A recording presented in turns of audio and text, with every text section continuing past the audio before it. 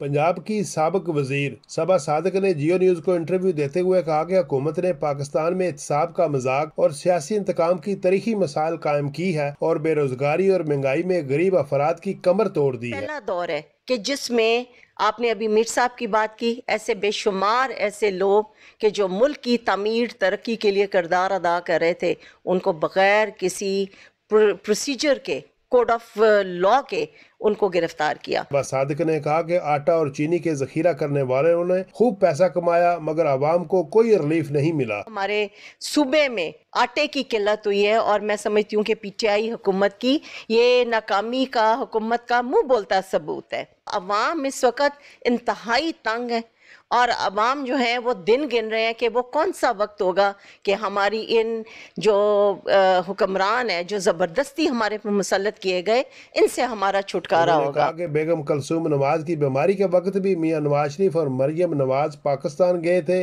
और अदालत में पेश हुए थे। साहिबा आखिरी साँसें ले रही थी और मियाँ साहब और उनकी बेटी मरियम नवाज़ साहिबा दोनों पाकिस्तान वापस गए और हम तमाम पार्टी के मेंबर्स वर्कर्स कहते थे कि मियाँ साहब, आप इनको छोड़ के ना जाएँ, मगर उन्होंने कानून की पासदारी की, उन्होंने अदालतों का एहतराम किया, उन्होंने पार्लियामेंट के अंदर भी अपने आप को एहतसाब के लिए पेश किया। उन्होंने कहा कि उनकी कायद मियाँ मोहम्मद नवाज़ शरीफ से मुलाकात होगी और मुल्की सियासत में तबादला ख्याल भी किया जाएगा। Ghulam Mustafa Mughal, Geo news, Manchester.